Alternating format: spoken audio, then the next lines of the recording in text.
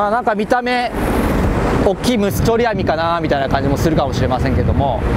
皆さん虫取るときは大体こうやっていたものをこうキャッチしますよね。捉えます。でもプランクトンネットっていうのはさっきも言った通り海水をろ過するためのものです。単純に、えー、網を動かしてその時に中を通過する海水をろ過して濃縮するというものです。ですから英雄遊泳力のあるものを捕まえるようなものでは基本的にはないです。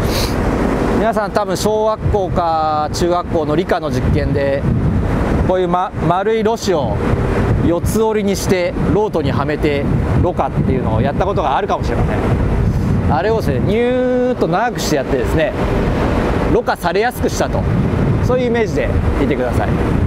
本当はもっと長くした方がですね、えー、ろ過効率が良くなって、えー、水の抜け抜けが良くなってたくさん取れるんでしょうけども、まあ、船のサイズ決まってますからあんまり長くできないですね。であのノルパックネットというのは1 8 0センチですからだいたい人間の身長と一緒でまあ、取り扱いやすいということで国内ではよく使われています。危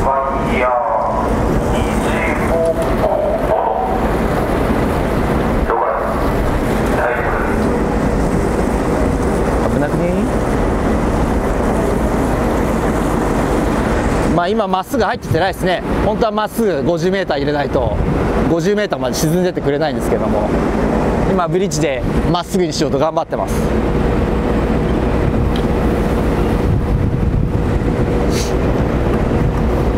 ょっといいですか？今日はちょっと簡単のため省略しましたけどもこうやって角度がついた時は、